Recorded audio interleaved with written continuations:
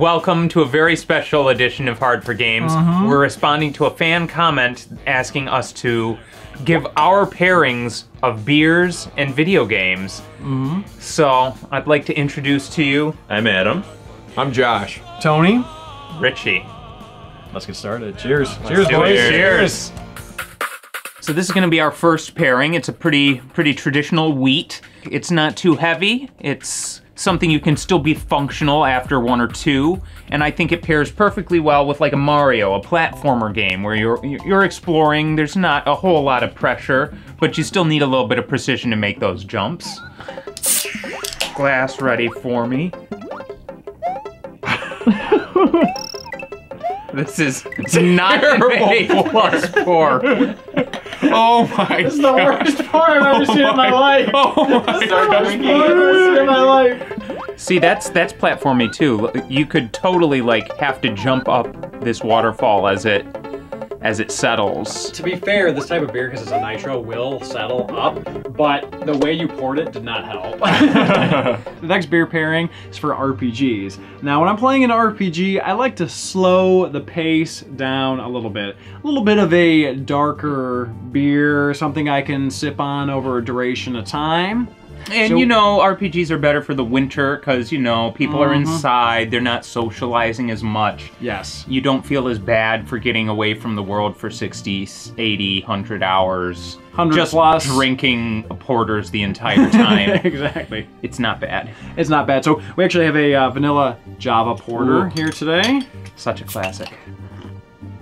But it still Oh. just fine, right? You gotta try this, guys. It's actually good. I already had one. Oh, you did? Okay. Yeah. Adam, you want to take a sip? Yeah. So the next one has a couple of kind of stipulations here. So we understand that not everyone who's going to be watching this right now is of age to drink, right? A lot of kids on YouTube, they're younger. So we also wanted to provide something for them because we would never uh, suggest that anyone underage should be drinking. So if you are underage and you are playing a retro game, Retro game. I have a couple drinks from the 90s. Yeah. So you remember Surge? Actually, you don't remember Surge because you're a child. Uh, so this came out and was canceled basically in the late 90s. This was the early 90s and was promptly discontinued. So Crystal Pepsi and Surge. Actually, go ahead and open that one up.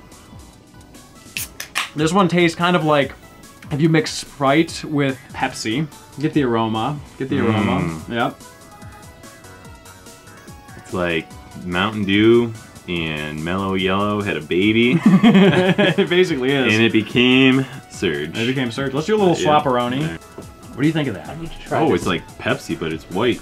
Let me try that. Let me try that. You want to feel like you're living in the 90s. Got a little cocktail for you. Yeah. Oh yeah. Virgin cocktail. Crystal Pepsi. A little bit of Surge.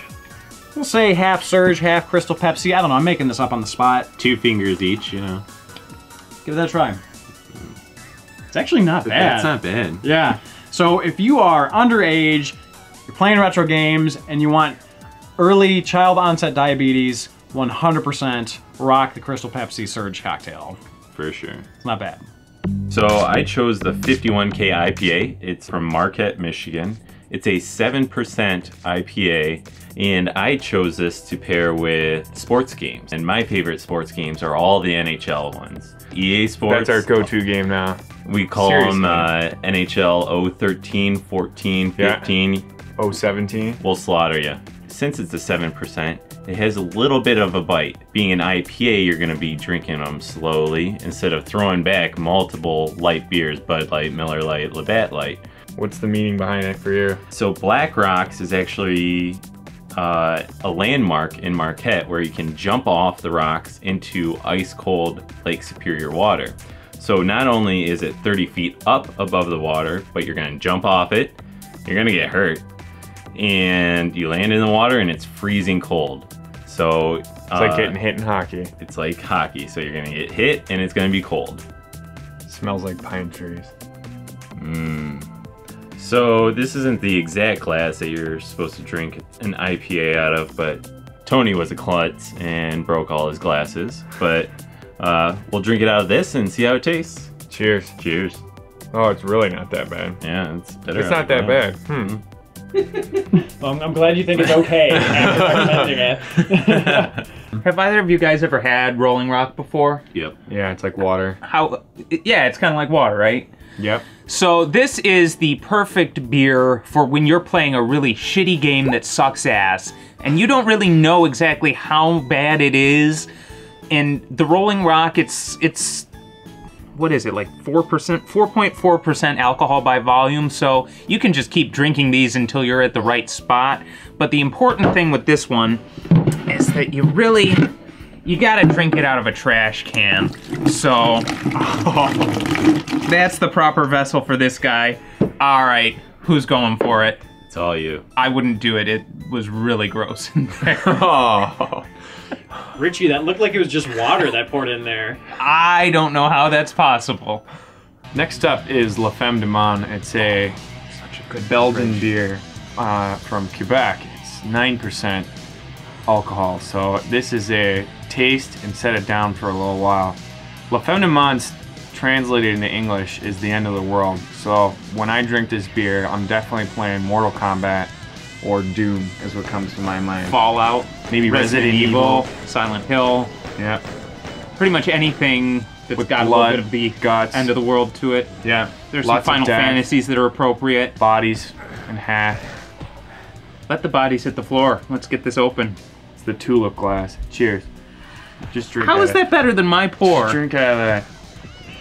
I swear the liquid to head ratio is far That is delicious. worse in fat. It's got a little sweetness, like when you have a bitter sweet KO.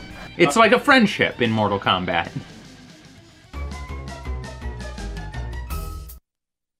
Johnny Cage wins. Friendship. Friendship again? First person shooters, what's the proper beer pairing? During the game, none. I'm already such rubbish. How could I possibly sabotage myself with any alcohol? But after the game, after setting a world record for how many deaths one man can get in one round of an FPS, I need all of them. All of the booze.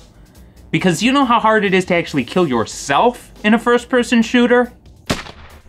adventure RPGs, adventure games, think Zelda. And I chose Guinness. Now this is kind of similar to my RPG pairing because you want something smooth that you kind of sip on and enjoy as you go on your adventure. But unlike a lot of slower paced RPGs, Zelda, since it's more action oriented oftentimes, you have to be on your feet. And Guinness, at least in the US, is more kind of a light beer.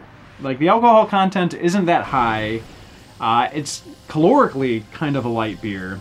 It's really baby's first dark beer, just in terms of like smoothness and coloration. And it pairs really well with Lon Lon Ranch milk. yes, pairs absolutely extraordinarily perfectly. well. That's why You you, have do to drink it fast, but Irish Lon Lon milk bombs. Mm-hmm.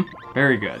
So this isn't the exact glass that we're supposed to use with the Guinness. I had a full set of everything I would need when I got married, but as time went on, things got done broke. The next pairing isn't about playing a game. It's about when you're reviewing games. Now, here at Hard for Games, there's one beer that stuck with us throughout the ages. I think you know what I'm talking about. I think I do too. Baltika. It is a Russian beer. There's tons of different kinds. Here's a number eight. Uh, wheat ale, probably a better version of it somewhere. Number four. Dark lager, Number six. porter, definitely some better porters out there, I'm sure. I'm gonna need your help with this one. It's a little heavy.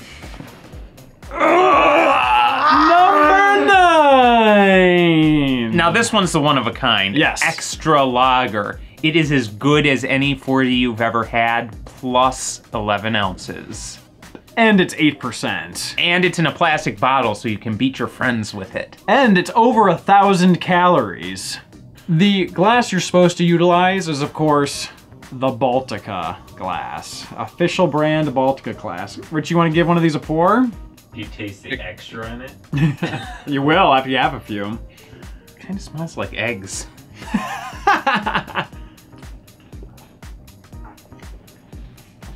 oh! oh, there's some memories there. Three bucks. I should also say that this is about three dollars and fifty cents in most places. buck chuck. Yeah, so it'll it'll water. it'll get you there. Ah. Richie's leaving because he's gonna go puke. Thank you very much for watching, everybody, and thank you for subscribing. I hope you enjoyed our proper beer pairings with different video games and genres. Uh, where, where's Richie, guys? The Baltika is calling. Richie didn't quite make it. He did not make it. Yeah, but uh, To represent Richie, we, we the, the extra in extra lager is for Richie. is for Richie. Cheers, gentlemen. Thank you again for subscribing. Cheers. We'll see you all next time. Thank you again for watching. If you enjoyed this video, feel free to give it a like and a share, and we will see you guys next time.